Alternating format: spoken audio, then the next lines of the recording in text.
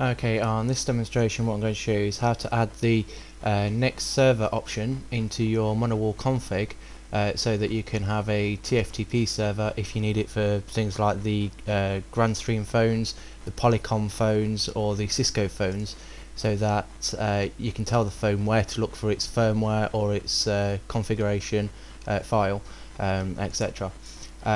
Manuel will be putting this option in the um, DHCP uh, web GUI uh, part of the uh, uh, administration um, in the for upcoming future.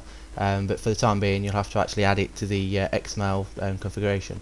So what we're going to do is log on to our monowall box via the IP address which is 1.100 and log into it and mono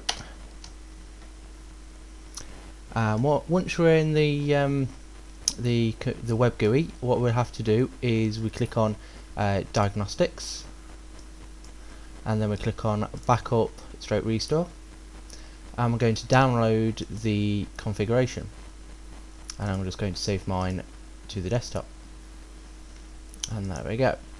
What you'll need to open this file with is uh, you can either open it with uh, Notepad or you can uh, or I open it with uh, XML marker.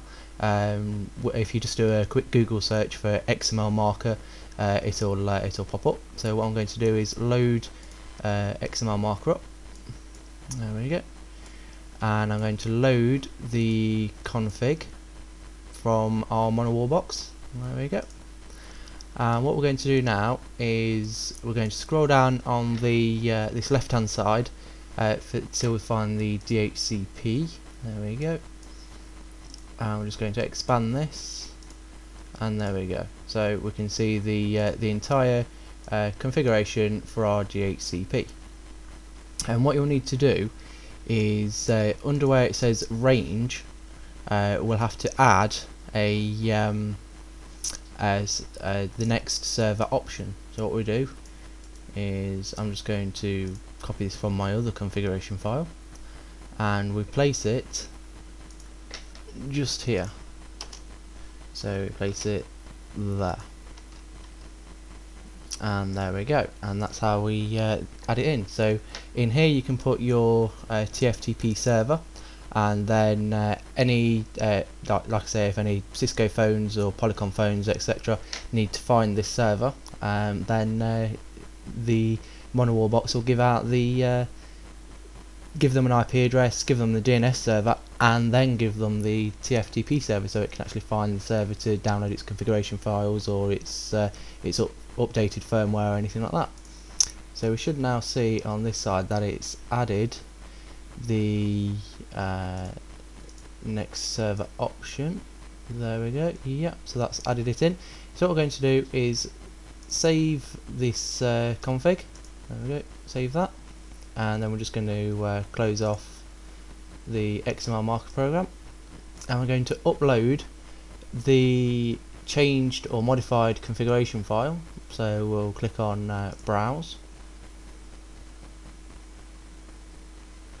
and then on the desktop we just find the uh, the configuration file that we've just edited. So there it is. And click open. And then click on restore configuration. And then it will say uh, the configuration file has been restored and firewall is now rebooting. Uh, this will take around about uh, a minute probably uh, two minutes uh, depending on your system.